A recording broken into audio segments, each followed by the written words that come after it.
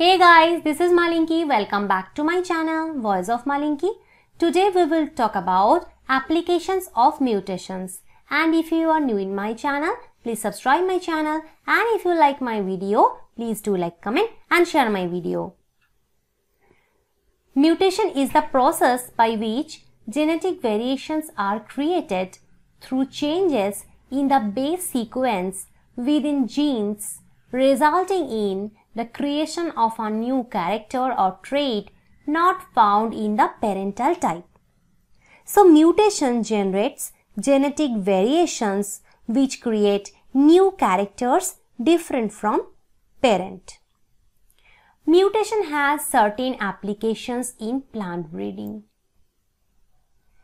It is possible to induce mutations artificially through use of chemicals or radiations and selecting and using the plants that have the desirable character.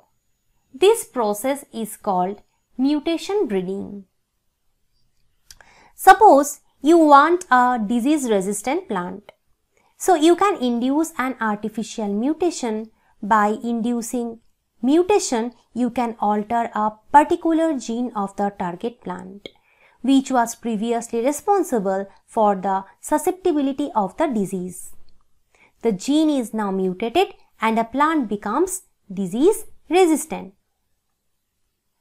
Mutation breeding is preferred when the desired alleles are absent in germplasm. Again, let's take the same example of disease resistant plant. The desired trait you have induced after mutation was not present in any of its parents. So, the desired alleles are absent in germplasm. It is commonly used to produce traits in crops such as larger seeds, new colors or sweeter fruits that either cannot be found in nature or have been lost during evolution. So these characters are not present in any of its parents or lost during evolution. Plants created using mutagenesis are called mutagenic plants. In this process, mutation is induced through biological, chemical or physical mutagens to develop desirable characteristics of a plant. Uh, so in our last lecture, we have already talked about different types of mutagens. Mutations occur in such low frequencies that large numbers of seeds must be used, grown and bred over different generations until a desirable trait is developed. See, since induction of mutation is an artificial process, its occurrence is very uncertain and only few plants could be mutated in this way. Hence, we have to work with large number of seeds.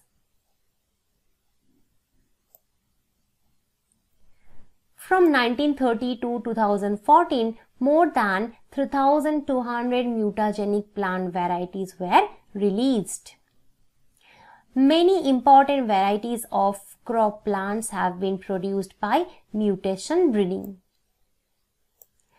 Now we will talk about some examples.